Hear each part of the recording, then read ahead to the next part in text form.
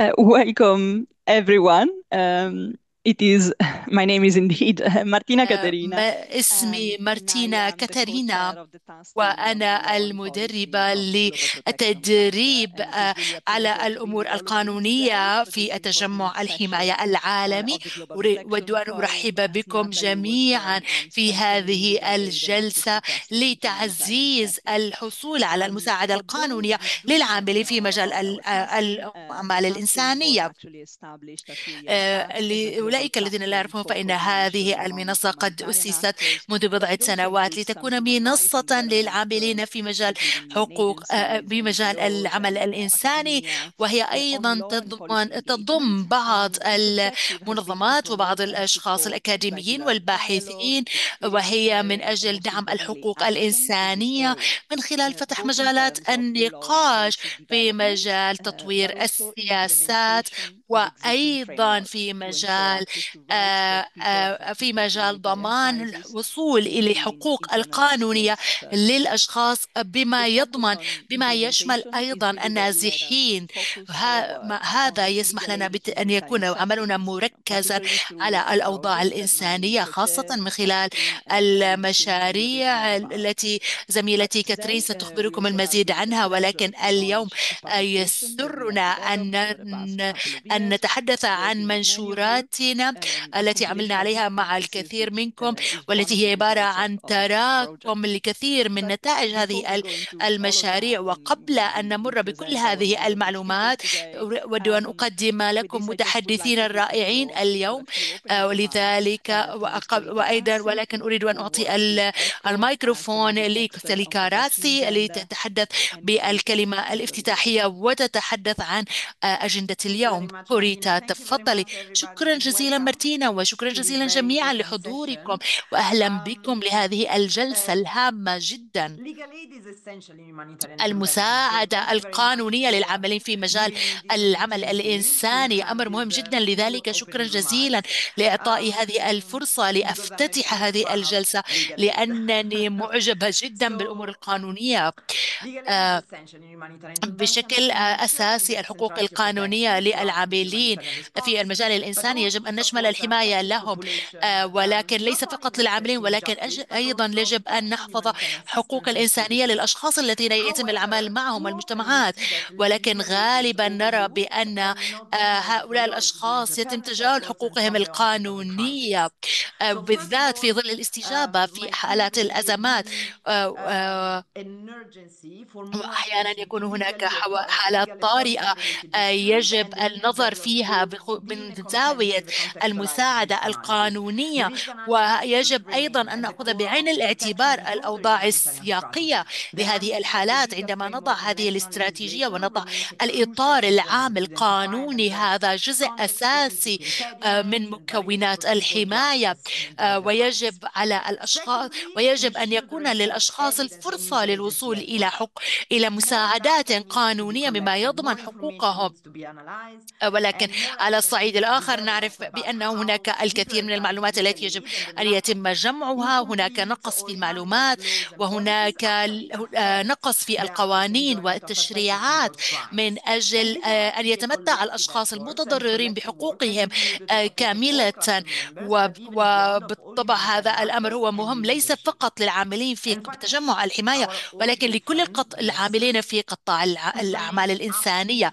وبالرغم من كل هذا فإن فإنه من الأساسي جدا أن يكون هناك تنسيق وتطوير التعاون مع الأطراف المعنية آه، وبالطبع أيضا يجب أن نطور إطار العمل الذي يتم العمل العمل وفقه آه، وهناك حاجة لعمليات المراقبة أيضا ولكن المسؤولية الأساسية هي اتجاه الأشخاص المتضررين وضمان وصولهم إلى حقوقهم القانونية ولكن على الأطراف المعنية بكل المستويات الدولية الوطنية والمحلية يجب أن يكونوا موجودين خلال عملية تطوير طريقة الوصول وتحقيق الحقوق القانونية للأطراف المتضررة. أعرف بأنها عملية طويلة وصعبة ولكنها تستحق هذا. ومعا مع بعضنا الآخر نستطيع أن نخلق تدخلا إنسانيا مهما آه، وأن تكون هذه الصلة بين السلام والتنمية والتطور. هي أمر مهم جدا. شكرا جزيلا مارتينا. آه، وأتطلع لنقاش مثمر في هذه الجلسة. أعطيك الميكروفون. شكرا جزيلا كوريتا لهذه الافتتاحية الرائعة التي ساعدتنا بشكل كبير لوضع سياق محادثة اليوم. لقد ذكرت آه، عدة نقاط مهمة آه، والتي بالطبع زملاؤنا سيتحدثون عنها خلال عروضهم التقديمية. لذلك شكرا جزيلا أنك معجبة بهذه الأمور القانونية وأنك موجودة معنا اليوم. بداية أريد أن أعطي الميكروفون لزميلتي كاترين من ال من الريفيجي كونسل وهي تعمل على عدة مشاريع بخصوص اللاجئين وتستطيع أن تخبرنا عن بعض النتائج الأساسية التي حصلوا عليها من مشاريعهم من خلال مراكمة التجارب والدروس. إنه عنوان عريض جدا حقيقة الذي نحاول أن نتحدث عنه اليوم. ما الذي نحاول أن نجمعه من هذا اليوم؟ فكاتي كاترين تفضلي الميكروفون معك وسنقوم بمشاركة العرض التقديمي. شكرا جزيلا مارتينا أجل في الحقيقة. هناك الكثير من الأمور التي وضعتها وذكرتها وهي بالطبع تنسجم مع توصياتنا. ولكن سنرى ما لدينا في العرض التقديمي ولكن أردت أن أذكر بأن ما ذكرتموه هو منسجم مع النقاط التي سنتحدث عنها. الآن لنرى المشروع الذي عملنا عليه. بدأ في 2021 وكان الهدف الأساسي منه هو تحسين القدرات لتجمعات الحماية في الميدان.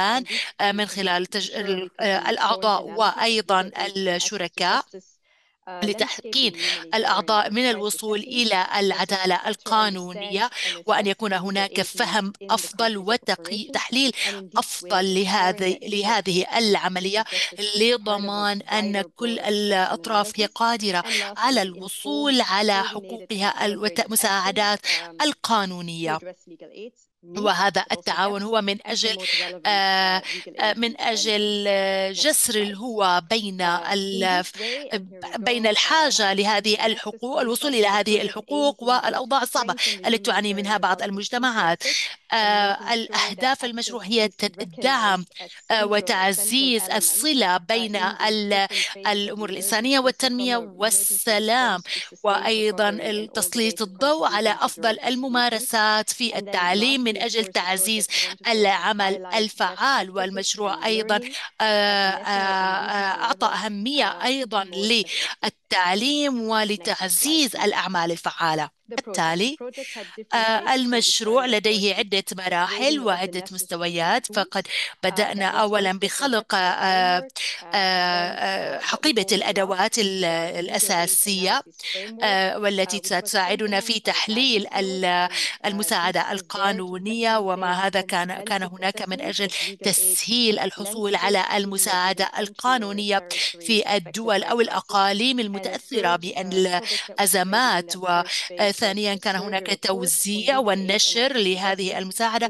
في المرحلة الثالثة كان هناك عملية التنفيذ والتعليم كان هناك تركيز على السياسات الشراكات ومعرفة الحاجات. في المرحلة الثانية التي بدأت في سبتمبر أيلول 2022 كان هناك هذا التوزيع والنشر لهذه الأدوات وتقديم الدعم التقني لعدة مبادرات في عدة دول. المرحلة التوزيع والنشر بدأت في الحقيقة من ضمان من أن الأدوات سيتم استعمالها في سياقاتهم وأوضاعهم وبعدها سيتم تنفيذ هذه الأدوات وكان هناك العمليات التعليم من خلال عقد عدة ورشات أونلاين. وفي الختام هنا نحن هنا اليوم تمكنا من وضع تقريرنا أو ما نقول بمراكمة الممارسات الجيدة والدروس المستفادة. هذا التقرير كما رأينا بدأ في 2021 فعندما نعود للماضي كثيرا فهناك هذا التراكمات لجهد كبير حيث كنا نعمل على موضوع العاملين في مجال التنمية والإنسانية وحقوق الإنسان والسلام. وكان هناك الكثير بالطبع من التبادلات الخبرات الكثير من التحولات. وكنا نهدف لتعزيز تعزيز عملية التعليم الدولية والتعزيز أيضا الأعمال ذات الصلة. من أجل من أجل تعزيز الأعمال ذات الصلة بخصوص العلاقة بين العمل الإنساني والتنمية وحقوق الإنسان. لدينا ثلاثة فصول أو ثلاثة أجزاء في هذا التقرير. تبدأ من إعطاء خلفية عن هذا المشروع. وضعه وكل ما يتعلق به الجزء الثاني أو الفصل الثاني هو مراكمة النتائج ما هي التحديات ما هي الممارسات الجيدة آه، لنقول عملية الشراكة عملية التنسيق الصعوبات التي كانت للوصول إلى الأشخاص وفي الجزء الثالث هو بخصوص التعقيدات والمشاكل التي كانت في حالة تقديم المساعدات القانونية خاصة في المناطق التي كانت تعاني من النزاعات وخاصة في البيئات الهشة جدا بالطبع هناك الكثير من التفاصيل هناك الكثير يمكن القيام القيام به من أجل حماية الأشخاص الذين يعملون في مجال تقديم المساعدات الإنسانية. هناك الكثير من الزملاء العاملين في الميدان موجودين معنا اليوم. آه، بالطبع كل هذه الأمور لها أثر إيجابي ينعكس على هؤلاء الزملاء الذين يعملون في الميدان من أجل تقديم المساعدات الإنسانية ويساعدهم أيضا بطريقة الوصول آه، للمجتمعات. وفي الختام بالطبع لدينا عدد من التوصيات التي تقدم دليل آه، إرشادي عملي آه، آه، إرشادي من أجل تقديم استراتيجيات العدالة والوصول إلى الحقوق القانونية من خلال التدخلات التي يتم تصميمها. بالنظر إلى هؤلاء الإرشادات والتوصيات هناك طريقة من تصميم أربع أو خمس عناصر أساسية أو مبادئ أساسية يجب أخذها بعين بعين الاعتبار بشكل أساسي من أجل خلق آه، قدرة للوصول إلى الحقوق القانونية بشكل ممنهج آه، آه، لدينا نظرية التغيير بالاستجابة للمساعدة القانونية الحاجة لمساعدة القانونية. ولكن أيضا يجب أن يكون هناك تفكير في معالجة الأسباب الجذرية لهذه المشكلة. وأيضا يجب أن نضمن بأن الحصول على المساعدة القانونية آه، يمكننا من الوصول إلى العدالة وأن يتم تحقيق الأهداف المستدامة. وثالثا آه، نستطيع أن نرى كيف أنه يجب أن نكون أن نحدد الفئة المستهدفة بشكل دقيق لنضمن أن أن هذه المقاربة هي تركز على الناس والأشخاص. وأخيرا بأن يكون هناك منهجيات إبداعية محلية كافية قدر المستطاع. والآن uh, سنسمع من العدد من الزملاء الذين uh, سيتحدثون بعدي آه، عن بعض الأمثلة الحقيقية كيف يستطيع العاملين في المجال آه، أن يستخلصوا هذه الدروس آه، ونريد أن نمر على عدد من التوصيات الأساسية ولكن أردت أن أعطيكم فكرة واضحة عن كيف قد تبدو هذه التوصيات. لذلك سأسلط الضوء على بعض العناصر عناصر من هذه المبادئ الأساسية الأربعة التي ذكرتها للتو. فبداية سنتحدث عن نظرية التغيير آه، التي نحتاجها من أجل تحديد آه، المساعدة القانونية والحاجات الحماية آه، ويجب أن نعالج الأسباب الجذرية آه، يجب أن يتم هذا ولنقوم بهذا قمنا باستعمال هذا في من في مرحلة التصميم لنضمن معالجة هذه المشكلة من جذورها. وأيضا كان هناك مشكلة النزوح مشكلة النزوح التي كانت تمنع هؤلاء الأشخاص من الوصول إلى حقوق المساعدات الحقوقية و يجب أن يكون هناك توسيع لعملية الحصول على العدالة من أجل مضاعفة الأثر وما أكثر وما وراء ذلك وذلك من خلال و و وذلك ما ذكرناه من خلال الحديث عن بعض الأدوات وما هي التي يجب أن نأخذها من خلال التحليلات ومعرفة كيف تعمل هذه الأنظمة. العنصر الثاني هو كله يرتبط بهذه الفكرة حول كيف مساعدة القانونية يمكن أن تقودنا أو تعطينا وصول للعدالة في مجالات التدخلات الإنسانية. ونستطيع مجددا أن نتحدث عن فهم المساعدة القانونية وطبيعتها وكيف أن العوامل القانونية من شأنها أن تشارك في حال وجود مخاطر ومن خلال وجهة نظر تحليلية آه، نستطيع أن نرى آه، كيف يمكن لكثير من العناصر أن تجتمع مع بعضها. لذلك فإن التحليل من وجهة نظر قانونية قد يعطينا تحليلا أعم وأشمل لعوامل الحماية وللمخاطر المحدقة في موضوع الحماية. وأيضا من المهم أن نذكر الجانب الآخر بأنه في العمل الإنسان الإنساني العاملين في مجال الإنساني وتقديم المساعدات القانونية فإن هناك هذا البعد القانوني في هذا القطاع ودمج آه، هذان الأمران مع بعضهم الآخر آه، آه، سيجعل هناك ضمان لتقديم المساعدات بشكل مناسب خاصة عندما نفكر بالملاجئ نفكر بالوصول إلى بعض الحقوق الأساسية الإنسانية وليس فقط في الدول المتضررة ولكن هذا يمكننا أيضا من معالجة مثل هذه المشاكل التي تواجه الأشخاص الذين لا يمكن الوصول لهم في متدخلات الحماية. عندما نتحدث بالتدخلات من أجل الملاجئ والمآوي آه، وهذا يتم من خلال بعض أطر العمل آه، وتمكينهم من الوصول إلى بعض حقوقهم وهذا يجعلنا أن نفهم ما هو أثر هذا التدخل وكيف يمكن تصميم بعض التدخلات. وهنا بالحديث آه، عن.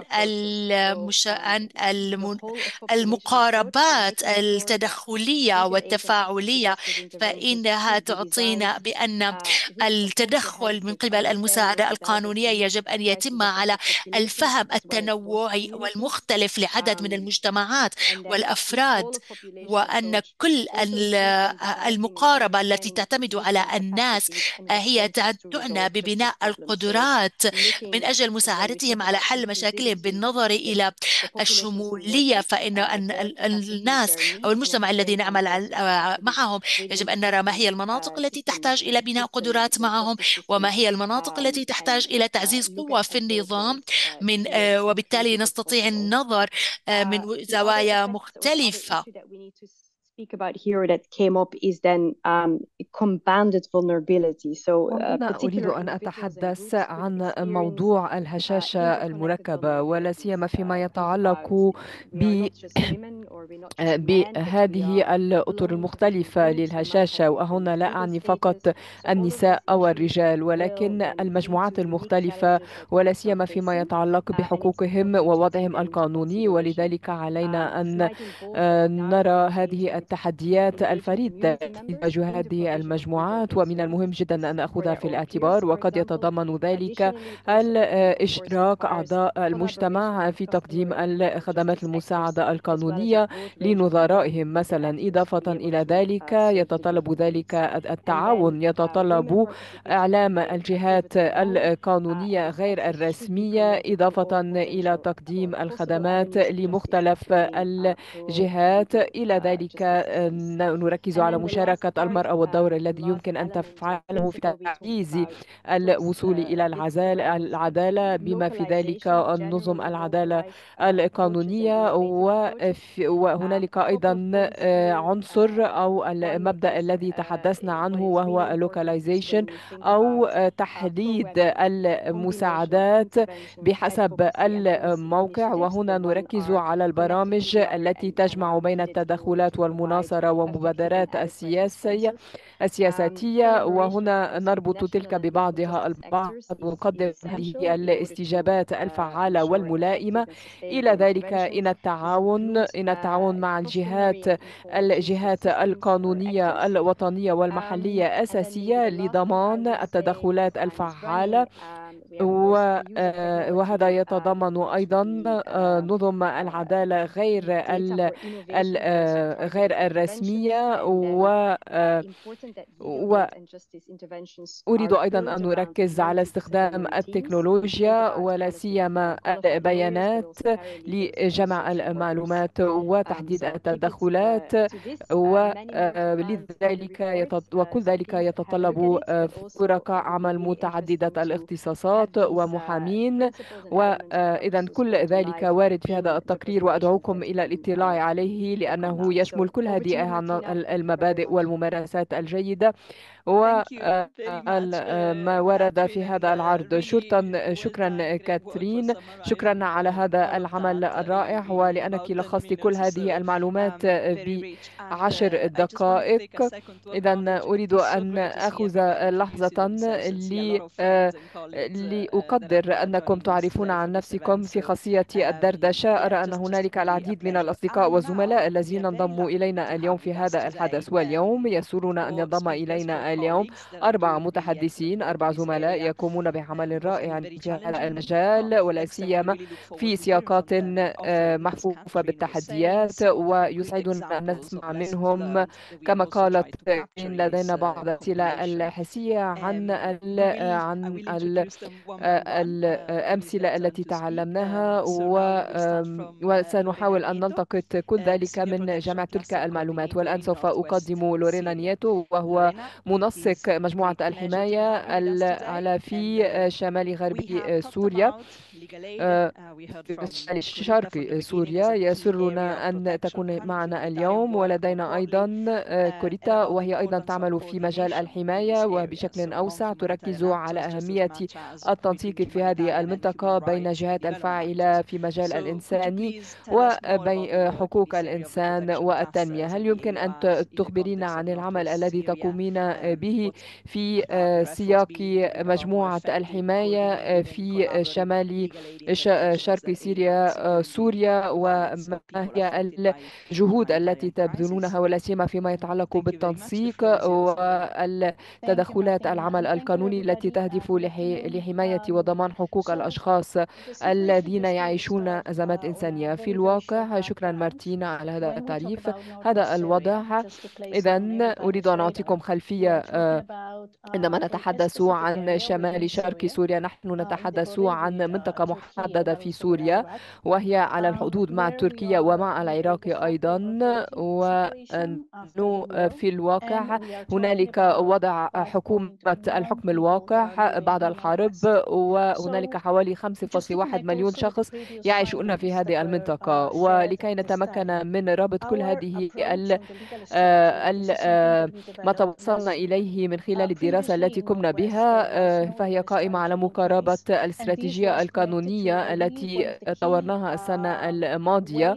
وقبل ذلك في هذه المنطقة كان هنالك استراتيجية قانونية وهنالك أيضا مقاربة لتقديم الدعم القانوني وعندما نتحدث عن حماية الحياة فهنالك سوء فهم على المستوى القانوني لأنه لا يمكننا أن نعالج هذه الأمور.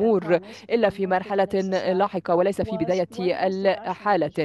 إذا عندما بدأنا نناقش مع الشركاء كنا نفكر في الإطار المنطقي خلف هذه المقاربة المتعلقة بالمساعدة القانونية. وفي الواقع الشركاء قد تأثروا كثيرا وهنالك حوالي 110 منظمة ولدينا شركاء في شمال سوريا. في الواقع الجهات المانحة لم توافق نوافق على هذه المقاربة القانونية ولا سيما في ظل سلطة حكم الواقع وهنالك هنالك غياب في تقديم القرارير حول هذه المواضيع لأن مجموعة الحماية والجهات المانحة لم تؤمن بعملنا. ولكن قلنا إن وضعنا معايير لهذه المقاربة ووضعنا أيضا شبكة حماية لهؤلاء الشركاء لكي يتمكنوا من تقديم هذه الخدمات. عندها سنضمن تقديم هذه الخدمات من خلال مقاربة تتعلق بتقديم الحماية القانونية في شمال شرق سوريا. وهذا إذا سيحول دون تعرض هؤلاء الذين يعملون في مساحة الحماية الإنسانية من التعرض إلى ذلك. ناقشنا الخدمات القانونية والمساعدة القانونية والوصول إلى العدالة. وقلنا أنه علينا أن نضمن أن تكون الخدمات القانونية وتقديمها داخل أو داخل أو مضمنة في هيكليات مجموعة الحماية. ومما يضمن إذا عمل كل الوكالات التي تعمل على الأرض. وبالقيام بذلك وضعنا خطوط توجيهية ولكل الشركاء. وبالتالي تأكدنا من أن خدمات القانونية يمكن أن تزيد من أثر الخدمات. مثلا عندما نتحدث عن جي بي بي اي أو ار فنحن نعرف أن تقديم هذه الخدمات للحقوق دون العنف المنزلي. الخدمات هي القانونية أساسية. لذلك قلنا لتقديم الحماية للناجين من العنف المنزلي علينا أن نقدم أيضا الدعم القانوني. وبالتالي هنالك أيضا حماية ينبغي تقديمها للأولاد أو للأطفال لحمايتهم من المخاطر. ولذلك قمنا بمناقشة لهذه الاستراتيجية التي طورناها مع شركاء بالتعاون مع شركاء آخرين. وقد اتفقنا أنه عندما نقدم المساعدة القانونية ينبغي أيضا أن تأتي مع مساعدات أخرى. وعلينا أن نعزز مشاركة وإشراك المجتمعات ولا سيما أن نركز على حكم القانون لأنه لعقود في المجتمعات في المجتمع السوري علينا أن نعيد بناء المجتمع ونعيد بناء فهم حكم القانون ودولة القانون وعلينا أن نبدأ على أسس واضحة لكي يفهم السكان أهمية هذه الخدمات القانونية وأهمية الوصول إليها وبالتالي إن ذلك مرتبط بالخدمات الخدمات كلها وإن الخدمات القانونية ليست مساعدة وإنما تحمينا على تجعلنا نبني فهما لدولة القانون وإضافة إلى إشراك المجتمعات بشكل ملموس في تطبيق القانون إضافة إلى إمكانية الوصول إلى الخدمات القانونية ما سيجعل المجتمعات تفهم أفضل بشكل أفضل حكم القانون وحتى لو كانوا يعيشون في سياق الحكم حكم الأمر الواقع. أما التالية التي تحدثت عنها كوريتا في بداية هذه الجلسة.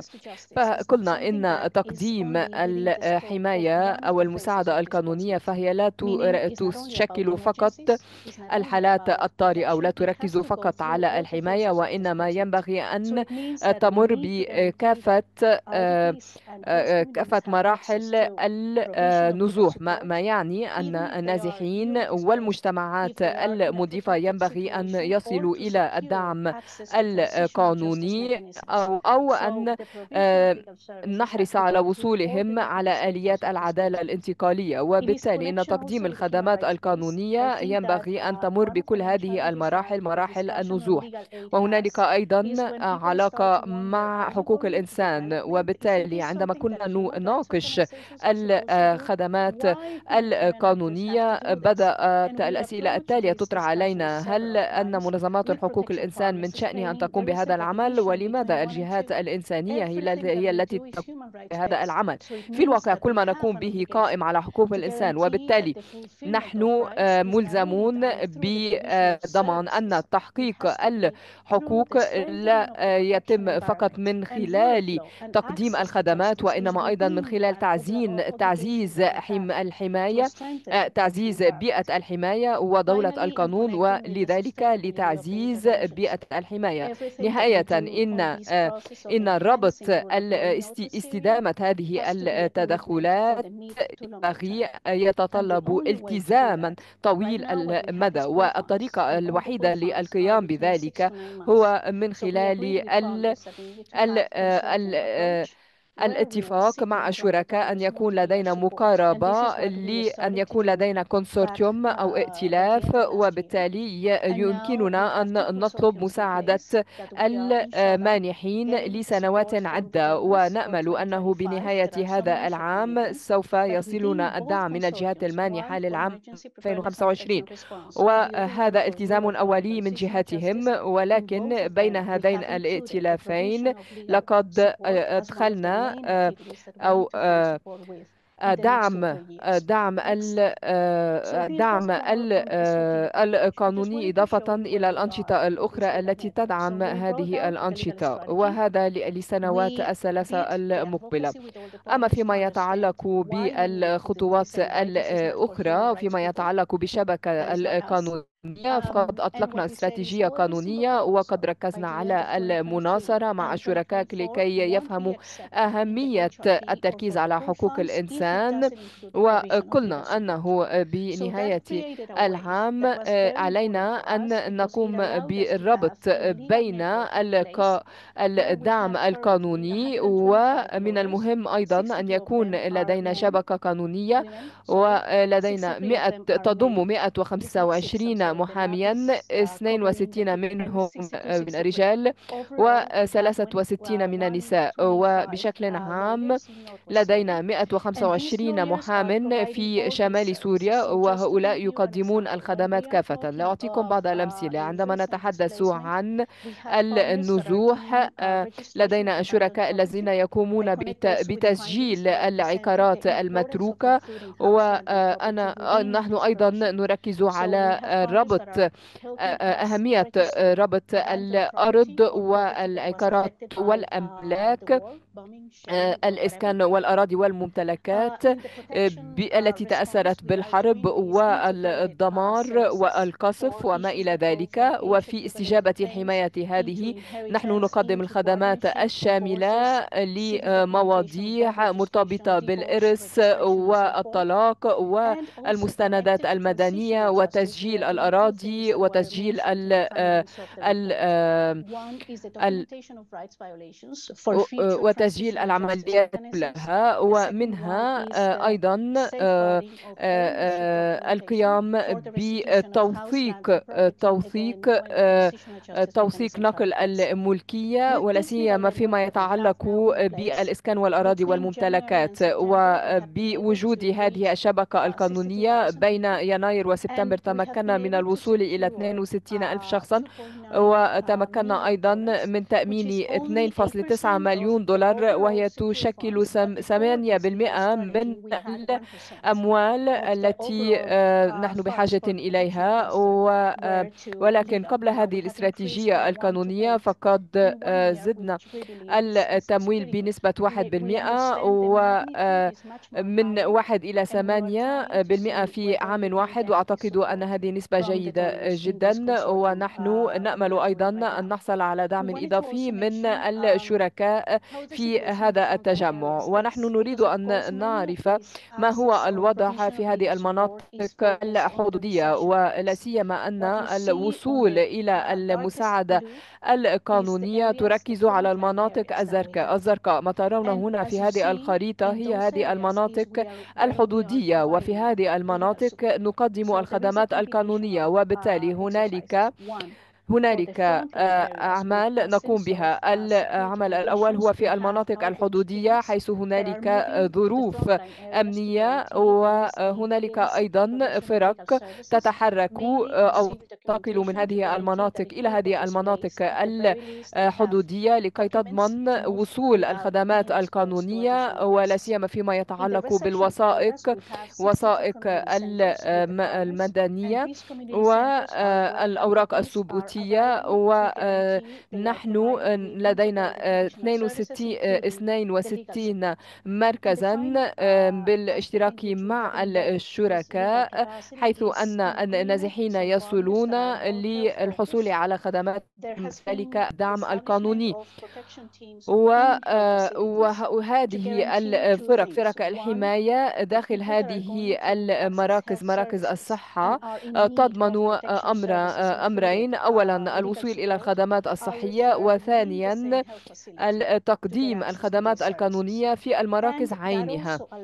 وهذا يسمح لنا أيضا بأن نضمن بأن المسؤولين عن الأمور الصحية أيضا يقومون بعمل الأوراق الثبوتية ويقومون بالتوثيق وما إلى وتقديم الخدمات كلها. وبالتالي نحن نحرص بأن يكون هنالك توثيق لهذه الحقوق ونربطها مع تقديم المساعدات القانونية المباشرة الضرورية. وفي هذه الصورة على هذه الخريطة يمكنكم أن تروا نوع الخدمات التي المطلوبة. ومن يناير إلى أغسطس الشركاء القانونيين إذا يمكننا أن نربط الطلبات ولا سيما مع الوثائق والأوراق الثبوتية. هذه الخدمة الأولى وتسجيل الولادات هي الخدمة الأولى المطلوبة والخدمة الثانية هي تسجيل الزواج والثالثة أيضا هي مرتبطة بتسجيل العقارات المرتبطة بالإسكان والأراضي والممتلكات. وهنا أريد أن أوضح أمرا هاما. هي أن هذه المواضيع القانونية حساسة جدا. وإن المقاربة التي قمنا بها مع الشركاء عندما حددنا هذه الأمور الحساسة تعني أنه علينا أن نتواصل بشكل أفضل وننسق عملنا بشكل أفضل لكي نضمن أنه عندما نعمل مع بعضنا البعض نكون أقوى وبالتالي لا نعرض أحد للخطر. وبالتالي إن كان الأمر حساسا فهذا يعني أنه علينا أن نقوم به مع بعضنا البعض. لأنه عندما نعمل لوحدنا فيكون فنعرض نفسنا للخطر. أما الأمر الخاري هو أنه عندما نتحدث عن الوصول إلى العدالة فهذا يتضمن العديد من الخدمات التي ينبغي أن تكون مرتبطة ببعضها البعض في هيكلية حماية شاملة. ومن الدروس التي تعلمناها هو أنه إن أردنا أن نقدم الخدمات القانونية فعلينا أن نضمن أيضا تقديم النقد على الأقل في حالة شمال شرق سوريا حيث هنالك مشكلة كبيرة مرتبطة بعدم حصول الناس على الأموال أو حتى عدم حياتهم على المال لكي يدفعوا هذه لكي يدفعوا هذه الخدمات. وبالتالي نحن نقدم الخدمات النقدية. إذا المقابل الخدمات القانونية وقد وضعنا أيضا معايير مع بين كل وحدنا المعايير مع الشركاء وهنالك أسقف محددة كما أن هنالك أيضا أيضا مجموعات قانونية وبالتالي إن توفير النقد مهم جدا ولتقديم الخدمات القانونية في القطاعات المختلفة. إذا كل ما نقوم به ينبغي أن يكون مرتبطا بعمل مجموعة الحماية الأخرى. إذا ما نقوم به فيما يتعلق بانتهاك الأراضي ينبغي أن يكون مرتبطا بالمجموعة المخصصة. ونحن نحن ركزنا على على تقديم الدعم التقني في وتقديم المساعدات القانونية على مستوى مختلف هذه المجموعات التي تقدم المساعدات وعندما نتحدث عن HLP فنحن هنا نتحدث وعندما نتحدث عن القوانين عادة ما تكون هذه القوانين هي غير ملموسة. وعندما يسألوننا إن كنا ندعم مثلا ثمن البطانيات وما إلى ذلك ينبغي أن يكون هنالك شيئا ملموسا. ينبغي أن لذلك عندما نقدم هذا النوع من المساعدات والدعم القانوني ينبغي أن نظهر للأشخاص أنه الأثر الذي نحدثه على الأرض وينبغي أيضا أن نحدد الفجوات وينبغي أيضا أن نركز أو نحدد الوقت المطلوب من الشركاء القانونيين لكي يحلوا قضية ما. إذا أعتقد أن أن الجهات المانحة مهتمة بالدعم القانوني ولكن علينا أن نظهر أثر المساعدة القانونية ونظهر أيضا شمولية عملنا ولا سيما أننا نعالج الأسباب الجذرية التي تحول دون المخاطر التعرض لمخاطر إضافية. شكرا جزيلا لورينا. لهذا العرض المثير للاهتمام. فقد لخصتي كل شيء في الشريحة الأخيرة. وقد تعنت ولكن هناك الكثير الذي تعلمته مما قلته سأقول تهانينا لك ولشركائك على المناظرة التي قمتم بها بالرغم من كل التحديات. لأنكم أحرزتم تقدما فعلا وبالنسبة للوحة التي شاركتيها لوحة المعلومات التي شاركتيها وبالتالي أحب أن أسمع من بابا خورا المنسق لمشاريع في مؤسسة في أوغندا. بابا نريد أن نختبر فيما إذا كان هناك مشكلة في الفيديو في حال لم نكن نستطيع سماعك بشكل واضح ربما نستطيع إغلاق الفيديو. بابا في بداية لقد تحدثنا كثيرا عن أهمية التنسيق والشراكات مع الشركاء والعاملين المحليين. هلا من فضلك أخبرتنا عن العمل المؤسسات والجمعيات النيجيرية في عند تصميم تدخلاتكم مع المجتمعات في حالات الأزمات الإنسانية وكيف تضيفون الأعضاء إلى التجمعات الأخرى من أجل العمل التعاوني في مناطق تأثيركم. تفضل بابا الميكروفون معك.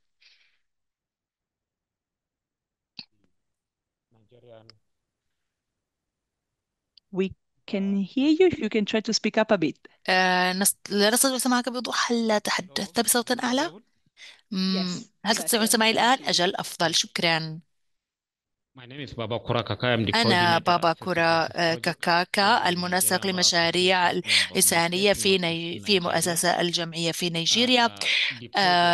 المشروع هو من نقابة المحامين النيجيرية. هو المشروع هو من أجل تقديم الخدمات القانونية في المناطق المتأثرة في بوكو حرام. ليس فقط في نيجيريا ولكن في بورنو وأداماوا ويوبي المشروع هو بشكل أساسي مقسم إلى جزئين الجزء المساعدة القانونية وأيضا التوثيق والقسم المتعلق بالتوثيق. لذلك هلا ننتقل للشريحة التالية. كما قلت لكم إنه ليس فقط في نيجيريا ولكن نيروبي وأتاوا ويوب ولكن بشكل عام غطينا مناطق التي خاضعة لسيطرة الحكومة حيث تعمل عدد من الوكالات. المشروع هو يستهدف بشكل أساسي الأطراف الشركاء الذين يعانون من النزوح سواء في نيجيريا أو في أي إقليم كان ويتم أيضا العمل مع الأشخاص الذين رغبوا بالعودة إلى نيجيريا بعد أن نزحوا منها والذين يحاولون التكيف مع الوضع هناك بعد أن عادوا من المناطق من الدول المجاورة التالي المشروع. هو حقق العديد من الإنجازات بخصوص ليس فقط تقديم المساعدة القانونية ولكن أيضا في خلال التوثيق فلدينا 401 حالة من القضايا المفتوحة أمام المحاكم ولدينا أيضا جلسات أيضا لمساعدة الأشخاص النازحين ولدينا أيضا مشاريع المهمة بخصوص بعض الأوضاع هذه الأوضاع حيث تضمن أن هؤلاء الأشخاص يمكن يجب يمكن يحصلوا على المساعدة القانونية في أدا وفي ال... من خلال تطبيق الخطة التي وضعناها ومن خلال عقد بعض الجلسات وأيضا من خلال مساعدة من خلال بعض الأصول الحقيقية أيضا وحيث هناك المتابعة لما تم تحقيقه مع المستفيدين والموظفين للنازحين الداخليين.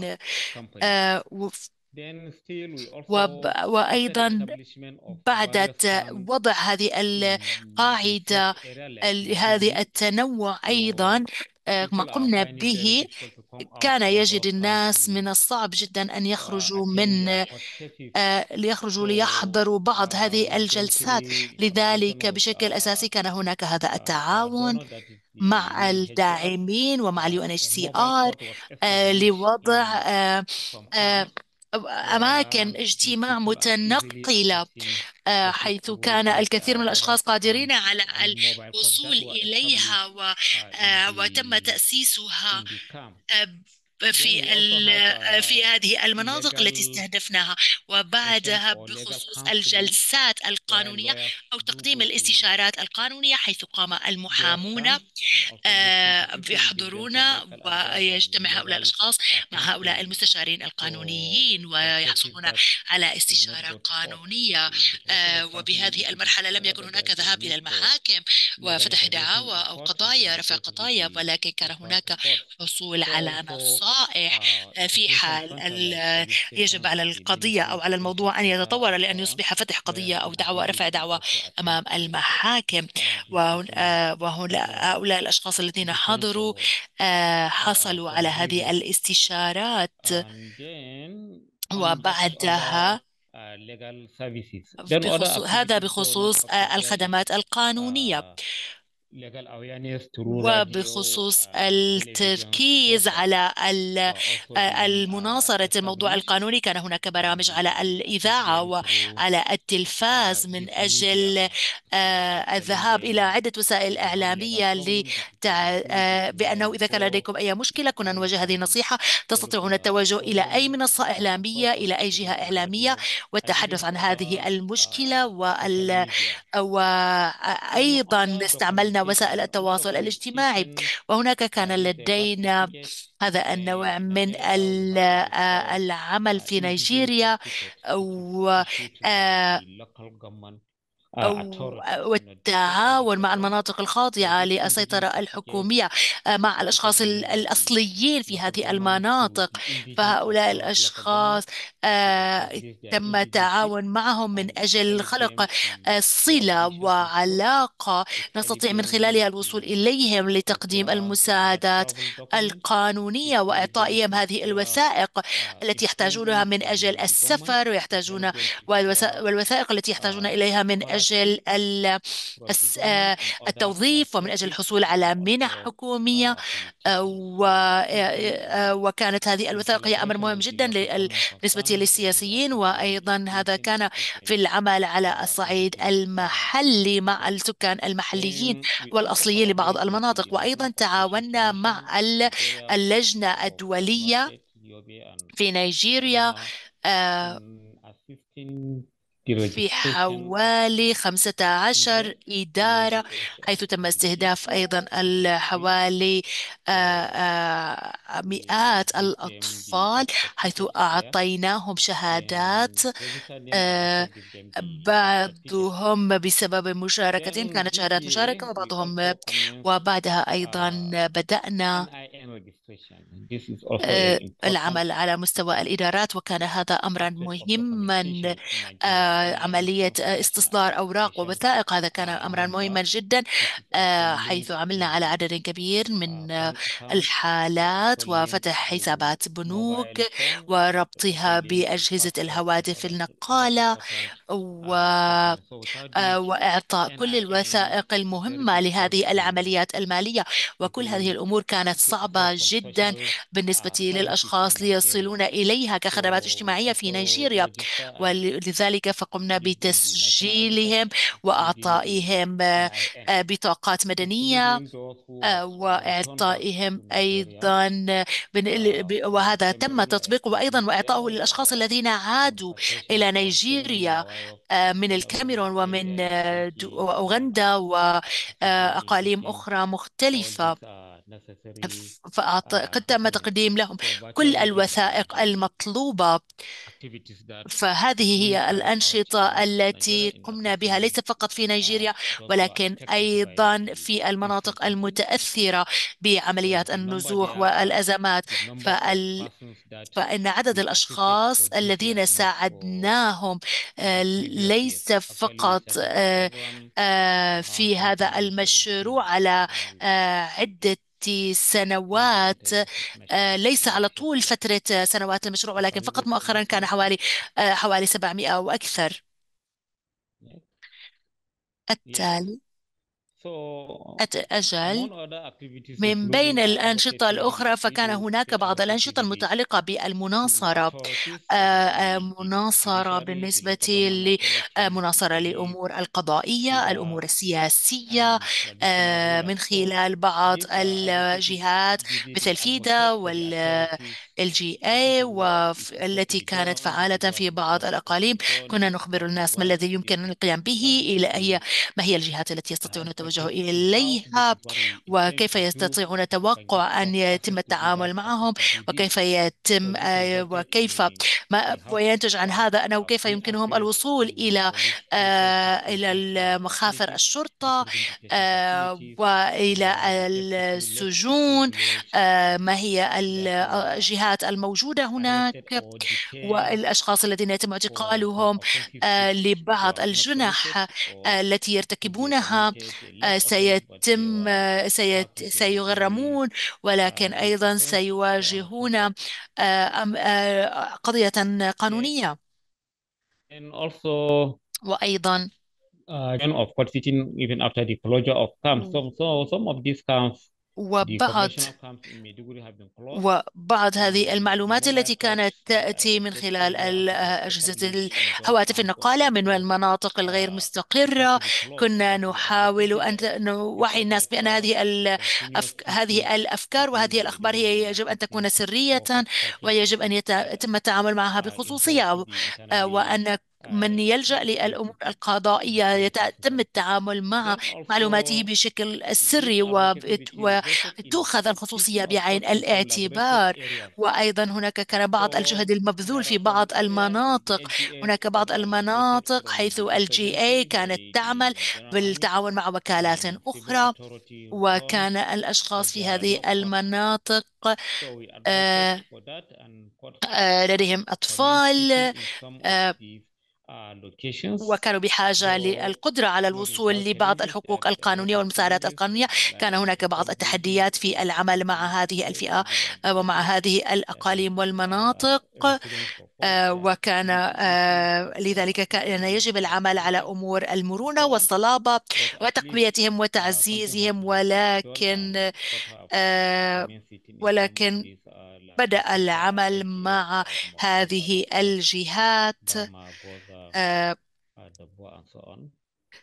then also advocacy uh, visit to the government institute وأيضا هذا العمل شمل مؤسسات تعمل على متابعة الأمور بخصوص التوثيقات والأوراق الثبوتية في كثير من الأقاليم بالتعاون مع بعض الوكالات والجهات الدولية.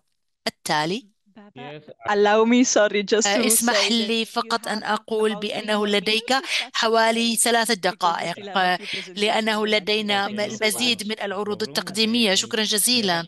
أجل آه، الاستشارات القانونية والوعي. سأتحدث عن هذا وسنرى ما هي ما هو القادم. سنتحدث عن الاستقرار وبعدها سأختم. فال كانت مجتمعات النازحين والمجتمعات المضيفة والعائدين. آه، عملنا على رفع الوعي لديهم بخصوص الحصول على المساعدات القانونية وبخصوص الجهود التعاونية مع منظمات غير حكومية أخرى مثل ال NRC ال um, DRC آه، واللجان حقوق uh, الإنسان الدولية وأي جهة أخرى تنفذ آه، آه، أنشطة متعلقة آه، بحقوق them الإنسان in سعينا uh, للتعاون uh, معهم activities. آه، بتنفيذ go أنشطة إنسانية. التالي Yes, what is the impact of this أجل ما هو أثر هذا المشروع؟ في الحقيقة هناك كان تزايد وتضاعف في عملية الوصول للأوراق القانونية والثبوتيات والحفاظ آه، أيضا على حقوق الإنسان والإبلاغ أيضا عن الإنتهاكات وإنتهاكات لحقوق الإنسان أو تعرض لأي حالات من العنف. آه، من آه، وهذه الوكالات كانت أيضا آه، محلية بالتعاون مع الوكالات الأجنبية وكانت آه، تدعو هؤلاء الأفراد والمجتمعات للتواصل معها وبالتالي حققنا قدرة على الوصول أكبر للمناطق المتأثرة وما الذي يستطيع هؤلاء الأشخاص القيام به في حالات المعاناة من أي قضية. التالي Yes, despite all these achievements and all بالرغم من كل هذه الإنجازات ولكن ما يزال هناك هذه التحديات بالنسبة للوصول للعدالة. آه، فهناك هذه التحديات في تنفيذ المشروع وما الذي كان يجب أن نقوم به مع أمور الأمن ومع أمور العنف. كل هذه الأمور كانت تشكل تحديا بالنسبة لنا آه، بالذات آه، للعمل على مناطق التي تحتاج إلى مآوي إلى غذاء إلى حاجات أساسية أخرى فربما هناك هؤلاء الأشخاص الذين يتعرضون للخطر أو لا يعرفون كيف يتعاملون مع المجتمعات المتضررة أثناء تقديم الغذاء لهم أو التغذي تقديم الملاجئ لهم ف هناك الكثير من المراكز التي تم تدميرها أحيانا كان يتم تعريض بعض الأشخاص للأذى discussion of evidence investigation of some of these وبالتالي تم التحقيق ببعض هذه الجرائم التي حصلت أو الأحداث التي حصلت وتسببت بالأذى. آه، وكنا أيضا آه، كان هناك أيضا صعوبة في تقييم آه، حالات الجرائم الوضع الأمني بشكل عام فقدان موارد التي تدعم حقوق الإنسان في المناطق المتضررة. وهذا في بعض المناطق حاولنا استعمال القدرة على تسهيل القدرة على الوصول آه، آه، لهؤلاء الأشخاص ولكن كان هناك صعوبة بسبب الوضع العسكري وانتشار السلاح. كان هذا تحديا كبيرا بالنسبة لنا. هنا بعض الاقتراحات من أجل هذا آه، والتعاون مع النظام مع الشركاء. في by من خلال الجلسات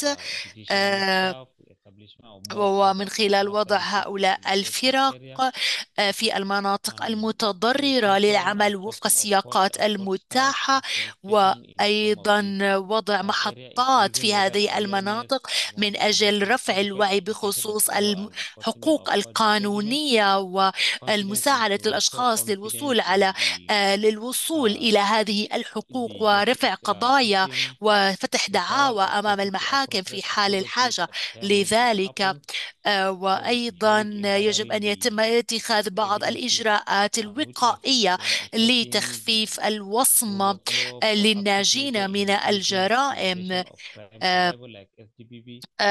خاصة جرائم ال SGBV ويجب رفع الوعي بهذا الشأن. وبالانتقال للشريحة التالية.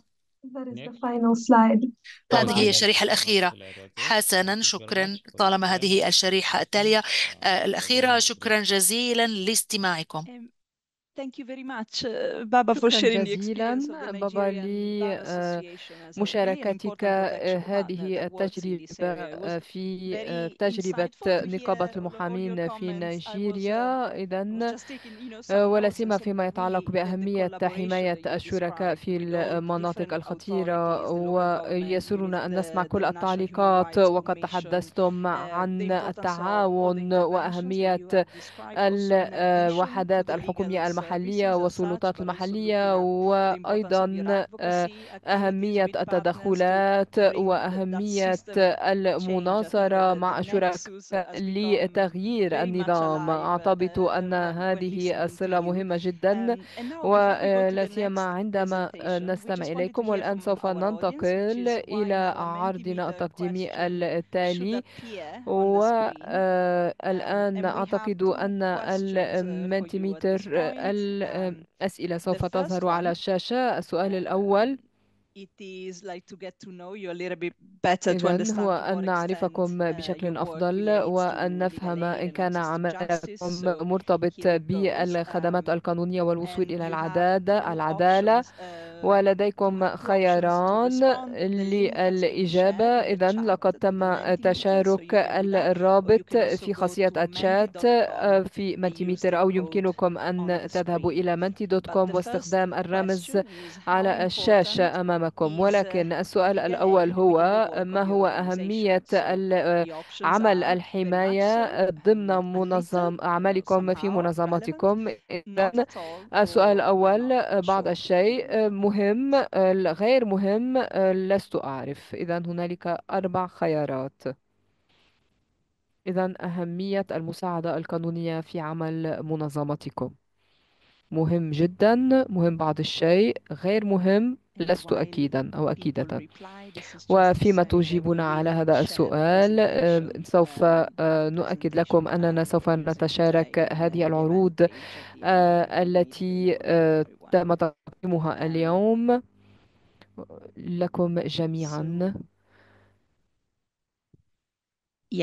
We'll see وسنرى إذا نرى هنا أمامنا على الشاشة الإجابات وشكرا على إجاباتكم. نرى أن أن النسب ما زالت ترتفع ولكن يبدو أن المساعدة القانونية مهمة جدا بالنسبة لعمل الكثير منكم. which is which is great. Um, وهو أمر رائع. And so understanding this, and we وبالتالي إن فهم أهمية العمل القانوني والمساعدة القانونية وأنا لست أدري إن كنتم جزءا من مجموعات الحماية في آه، مناطقكم أو في مناطق عملكم أم لا ولكن سوف إذا نبقي هذه الشاشة أو هذا المنتيمتر لدقيقة إضافية. في second الشات ولدينا أيضا سؤالا إضافيا لكم. وهو يتعلق إذا سمعنا من كوريتا والمتحدثين الآخرين أنه في معظم الأحيان لا يتم آه، آه، وضع أولوية أو آه، للمساعدة القانونية. كما أننا سمعنا من لورينا أن التجمعات الحماية إذا في الذي تقوم به في شمال غرب سوريا؟ إذا السؤال التالي هو هل تشعرون أن عمل المساعدة القانونية كان له الأولوية في أحدث تقرير عن الاحتياجات الإنسانية وخطة الاستجابة الإنسانية في بلدكم أو في بلد عملكم؟ إذا uh, ها السؤال. هو هل أن هذه المساعدة القانونية كانت لها أولوية كبرى. أو آه،. كبر آه، أولوية متوسطة لم يكن لها أي أولوية ولست أكيدا أو أكيدة إذا يمكنكم أن تنقروا على الرابط في خاصية الشات وللإجابة على هذا uh, السؤال هل آه، يمكنني أن أطرح سؤالا. بالنسبة الذين قالوا أن المساعدة القانونية لها أولوية عليا. إذا هل يمكن أن تقولوا لنا من أي دولة أو في أي بلد تعملون في سوريا أو في بلد آخر؟ إذا في شمال غرب سوريا أو في بلد آخر؟ يهمنا أن نعرف. إذا أحدهم أجاب يعمل أنه يعمل في أوروبا في أوكرانيا عفوا الصومال نيجيريا. رائع. من الجيد أن نرى. some of the like the, the, the answers some of these أن الإجابات قد توقعناها بعض الشيء ونحن نعرف أنه في بعض المناطق ولا سيما في أوكرانيا لدينا مجموعة عمل للدعم القانوني والتي تعمل بشكل خاص على هذا الموضوع وفي دول أخرى. إذا شكرا لأنكم حددتم عمل المساعدة القانونية وأولوياته وأعتقد أن ذلك يعطينا بعض فكرة عن العمل أهمية العمل الجماعي وترتيب الأولويات ولا سيما مثل ما قالت لورينا. والآن لدينا متحدثنا التالي بالتالي يسرنا أن نقدم ستيفانو كونسيليو وهو وهو مسؤول البرامج في المنظمة الدولية لتطوير القانون. ستيفانو عندما نتحدث عن الوصول إلى العدالة في ظل هذه الأنظمة المختلفة كيف يمكن تأمين الحقوق إلى العدالة؟ ولا سيما أن هنالك حاجات مختلفة في هذه السياقات الإنسانية. في هذا السياق إذا ما هي أهمية النظام العدالة غير الرسمي وذلك المرتبط بالأعراف؟ إذا شكرا لديكم عشر دقائق للإجابة. إذا شكرا جزيلا. إذا تحدث كل من سبقني عن أن الفاعلين في CIJ وقد تحدثت كاترين عن دور الجهات الفاعلة الفاعلة التقليدية في نيجيريا و CIJ وكوريتا ولورينا تحدثتا عن أهمية تعزيز المقاربات الشاملة التي تعزز الحلول المحلية وإن إن إن عرض يركز على الحلول البديلة في صوماليا في قلب صوماليا والحلول التي نقدمها وهذا العرض العرض إذا يبدأ من الصفحة 36 من التقرير الذي أشارت إليه مارتينا. إذا قبل أن أشرح لكم عمل أو نموذج عمل مراكزنا في ال ADR من المهم أن أشير إلى إلى كل هذه الأدوات. وهنا في صوماليا نتحدث عن القوانين الأعراف والشريعة والقانون البريطاني. البريطاني وخلال الحرب في صوماليا تأثرت كل هذه الأنظمة وتضررت ومنذ تأسيس الحكومة الفيدرالية وعادت للعمل في العام 2012 عاد ليركز البلد على الاستقرار السياسي وحاول أيضا أن يعزز مؤسسات المؤسسات القانونية الرسمية والمؤسسات ما زالت تعاني من نقص القدرات وتواجه تحديات على مستوى العمل ونقص الموارد ونتيجة لذلك العديد من السكان وهنا أتحدث عن 80 إلى 90% في بعض المناطق ما زالوا يعتمدون على مساعدة السي اي جي والأنظمة بالطبع كل هذه تشكل تحديات كبيرة وإن غياب غياب هذه الخدمات تحد من إنفاذ القانون في للحكومة وفي هذه الخلفية وللسنوات الأخيرة الشركاء شركاء التنمية يعملون على دعم الحكومة الصومالية في في إرساء هذه المراكز. إذا هذه المراكز تقدم العدالة مباشرة للعمليات أو عندما نتحدث عن الوساطة والتحكيم وأيضا التوافق مع الشريعة وهي مراك وهي أسس القانون. وفي هذه المراكز إن النزاعات يتم حلها بالتشارك بين بين الكبار والمسنين والشيوخ وفي كل هذه في كل من هذه المراكز لدينا عشرة عشر مسؤولين ولدينا أيضا الكاتب والذي يقوم بتسجيل هذه الدعاوى وأيضا التركيز مع المسؤولين في الشرطة وأيضا يقوم بعملية الإحالة إحالة القضايا وبالتالي في توصيف هذه الدعاوى بحسب طبيعة النزاعات وتقديم المشورة والاستشارات القانونية. للنساء ونحن في هذه المراكز لا نعمل نعمل على أسس القانون والشريعة ولكن الإجراءات التشغيلية المعيارية لا تؤثر لا تؤثر على الأعراف إذ أن هنالك أيضا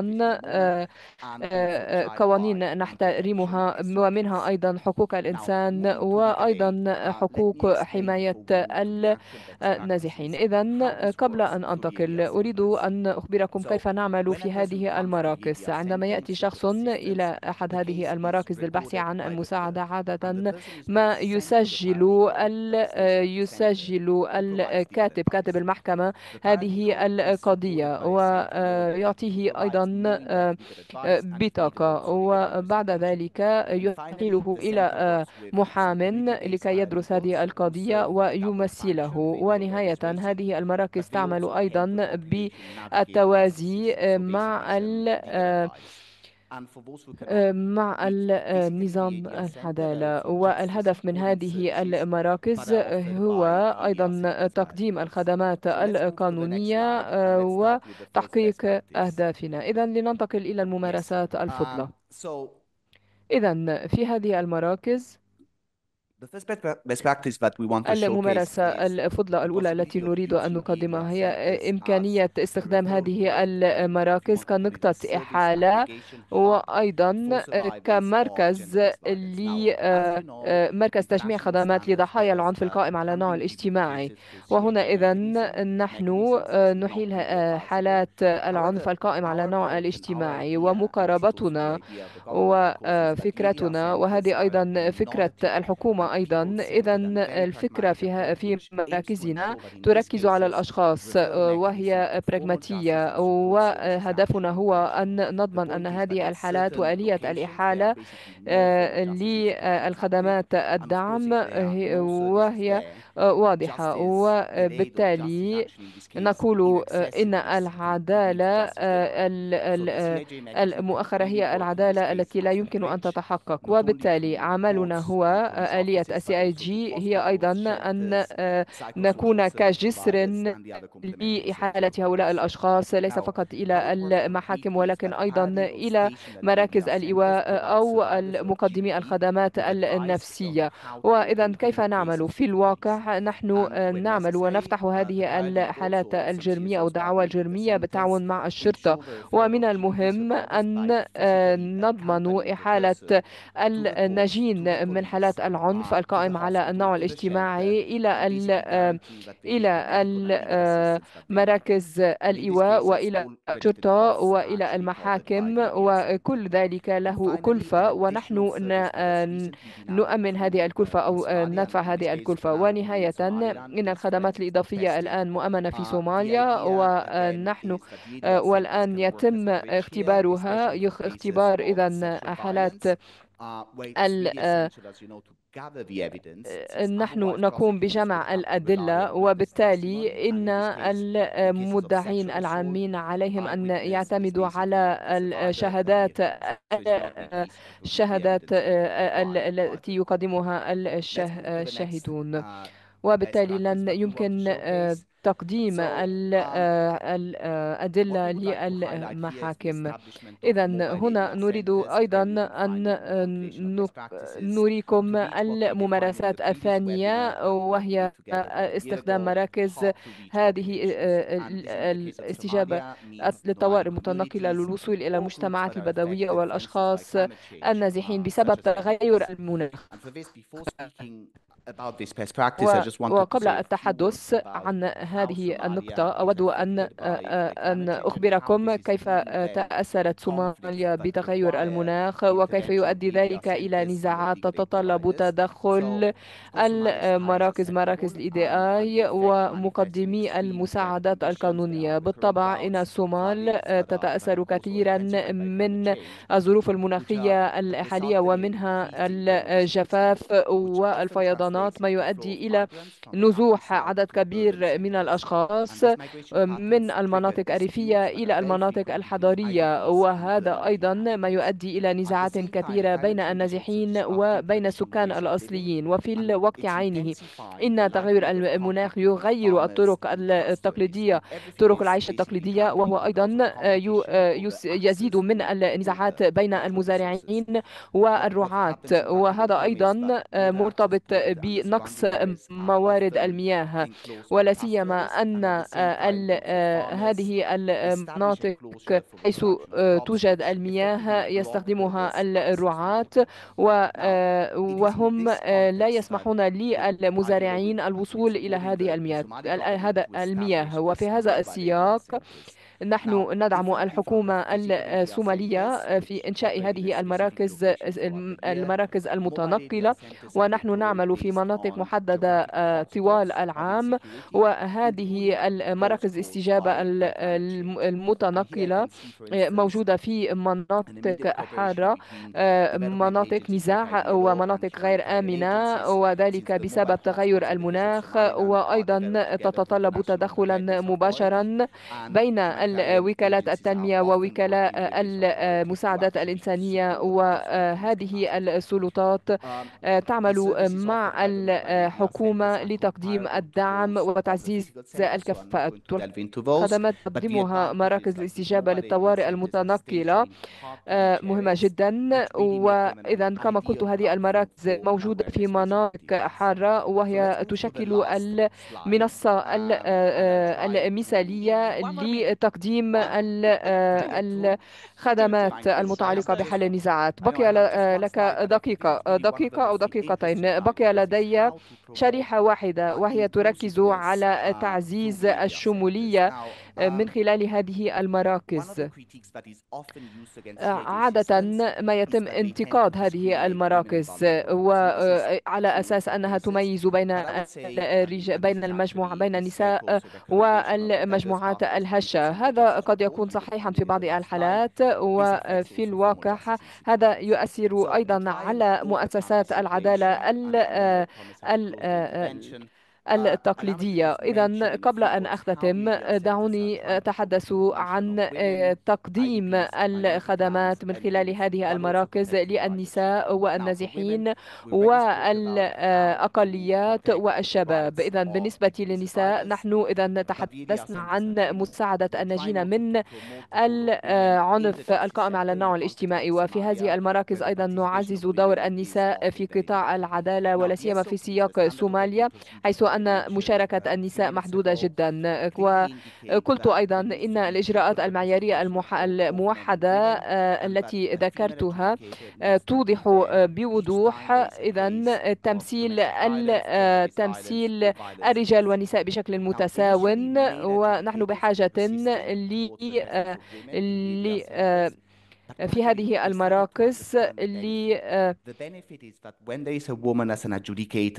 عندما يكون هنالك women justice seekers will much more easily open up, will much more easily share, will much more easily محكم في هذه المراكز عادة ما تأتي النساء بحثا عن المساعدة القانونية واليوم أكثر من 20% من هؤلاء النساء المحكمات في هذه المراكز من النساء.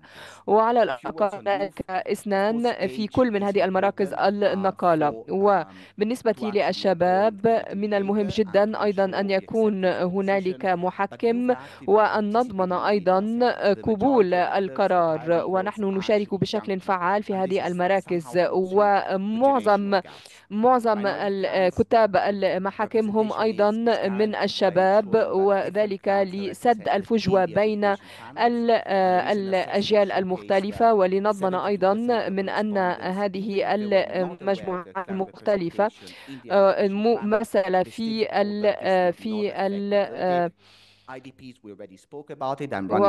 وفي هذه محاكم وقد تحدثوا أيضا عن النازحين وبما أن الوقت ينفذ أريد أن أتحدث أيضا عن حقوق الإنسان وحقوق الإنسان في الصومال فيما يتعلق بالأطفال فهنالك المشاكل العائلية والجرائم الصغيرة وعادة مثلا إن كان هنالك مثلا سرقات صغيرة يقوم بها الأطفال فعادة ما يتم غض النظر عنها ونحن نركز نركز إذا أن نساعد الأطفال و أن يمضوا أن يمضوا مدة قصيرة في مراكز في مراكز ليتم تأهيلهم وبالتالي لكي نعلم الأطفال أهمية احترام القانون وأيضا ما هو لمصلحتهم الفضلى. ونهاية إن هذه المراكز مراكز دي ار تتبع مقاربة مقاربة براغماتيكية لتعزز آليات الإحالة ولكن المشكلة في هذه الآليات هي أننا نتحدث عن جهات ال CIJ التي عادة ما تركز على الجهات الفاعلة في CIJ ولكن ما يحصل هو أنه بدل أن هؤلاء المحكمين يذهبون أسبوعيا لمراكز الشرطة لكي يحددوا القضايا التي يمكن إحالتها إلى مراكز ال ADR والهدف من ذلك هو أن يكون هنالك آليات عدالة تعيد الحقوق وتعوض عن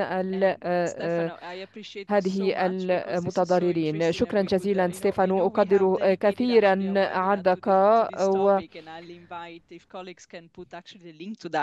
لنرى فيما إذا كان زملاؤنا يستطيعون ترك الرابط في صندوق الرسائل حيث يكون هناك لدينا مصدر آخر نستطيع أن نناقش هذا بشكل أكبر والآن نستطيع أن نجيب بعض الأسئلة في الأسئلة حول كيف نستطيع أن نقوي القدرة على الوصول إلى المجموعات المهمشة. وآخرا وليس أخيرا نريد أن نسمع من كاترين سكالوب التي تعمل مع المجلس اللاجئين الدولي. سنسمع من كاترين اليوم التي تعمل مع DRC في المجلس المجلس الدنماركي للاجئين. ف DRC كانت عضوا فاعلا جدا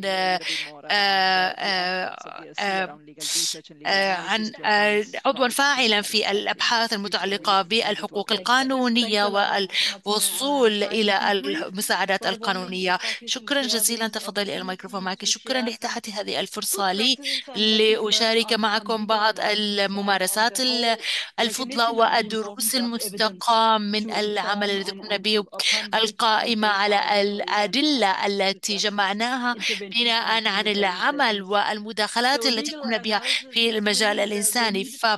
فتحليل المساعدة الإنسانية ضمن إطار العمل هي من أجل ضمان وتسهيل الحصول على المساعدة القانونية في سياقات العدالة والسياقات القانونية. نرى هنا بأنه لدينا أربع مكونات أساسية. أول التحليلية في هذا الإطار القانوني. قبل أن أخوض في التفاصيل يجب أن أذكر بأن هذا العمل هو قائم على الأدلة وعلى شهادة الشهود وهذه المجموعات المحددة. كرست كرست جهودها من أجل مساعدتنا في وضع هذه الإطار وضع هذا الإطار. وقد عملنا معهم وحصلنا على معلومات منهم حتى تمكنا من وضع إطار العمل هذا. يبدو بأنه لطيف وبسيط. يجمع هذه المكونات الأربعة المفيدة التي أتمنى بأنها قائمة على الأدلة أدلة. وأريد هنا أن أذكر بضعة نقاط بالعودة إلى ما ذكره المتحدثون الآخرون. فإننا في عندما نتحدث عن التحليل المساعدات القانونية وليس فقط أن نقفز مباشرة للمساعدة القانونية نفسها ولكن يجب أن نفهم السياق وسياق العدالة وأن نحدد القدرة على الوصول الأعراف التقاليد سياقات الممارسات والتنفيذ الحلول للمساعدة القانونية وبعدها ننتقل إلى الحاجات للمساعدة القانونية وهذا يتطلب فهمها فهم مجال العمل من هم المتأثرون وأيضا بشكل أساسي من هم بالأساس المحتاجون لهذا النوع من المساعدات وأيضا بالانتقال إلى المكون الثالث الذي هو التداعيات القضايا المساعدات القانونية. هذا أمر أساسي يجب أن نفهم ما هي الحاجات وما يترتب عليها وما يترتب على تقديم هذه المساعدات بالنسبة للأشخاص المتضررين في مجموعات معينة وأيضا في المجموعات المهمشة. وأخيرا وبشكل مهم جدا هي بخصوص القدرات الموجودة والاستجابات. يجب أن نفهم ونقيم ما الذي يحصل أساسا ما هو الوصول ما هي التدخلات ما هي الجهود التي يتم بذلها ما هي القدرات لمعالجة الحاجات القانونية. وأيضا يجب أن نفهم أيضا كل ما يتعلق بهذا الموضوع بخصوص التنسيق أيضا والتعاون بهذا الصدد. وعندما نتحدث عن الفوائد هذا عن فوائد تطوير إطار العمل هذا إنه إطار عمل تحليلي وتنظيمي وهو بح وهناك حاجة كبيرة له لمعرفة ما نقوم به من خلال تحليل الوضع و ونعرف بأن هناك الكثير من الجداول التحليلية وهناك الكثير من المنهجيات وطرق العمل التي تقوم بها عدد كبير من الوكالات والأطراف ولكن يجب أن نذكر بأن سياق العمل القانوني هو مهم جدا وأن إطار العمل هذا هو معروف جدا بالنسبة للعاملين هناك وبالإدراك بأن بأن هذا إطار العمل هو تقوية ودعم لنفس اللغة ولنفس المكون الذي نستعمله بشكل أساسي لتسهيل التحليلات المشتركة وبالتالي فهذا هو الهدف هذا الهدف من وضع هذا الإطار وأيضا أريد أن أعود للنقطة التي ذكرتها كوريتا والتي هي ببناء الثقة من خلال امتلاك هذه الأداة التي تعتمد على التحليلات القانونية لأنها ساعدتنا حتى الآن للفت لمزيد من الانتباه بالنسبة للمواضيع الإنسانية بالنسبة لتقديم المساعدات الإنسانية خلال الاستجابة الإنسانية في الأوضاع في مختلف الأوضاع. لذلك فهذا لفت النظر. هذا أمر أساسي بالنسبة لإطار العمل التحليلي هذا. وأريد أن أشارك معكم باختصار أمثلة من ليبيا وتونس وأمريكا اللاتينية. ففي ليبيا كان هناك عدد من عدد من المشاريع التي كانت تعتمد على التنسيق مع المساعدات الإنسانية.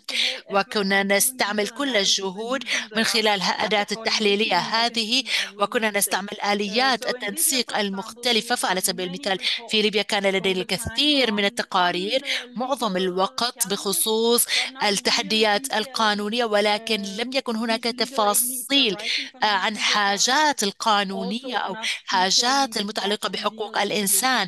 وكان هناك حاجة لجسر الهوة بخصوص تقديم المساعدات القانونية. لذلك كنا نفكر في DRC كيف نستطيع استعمال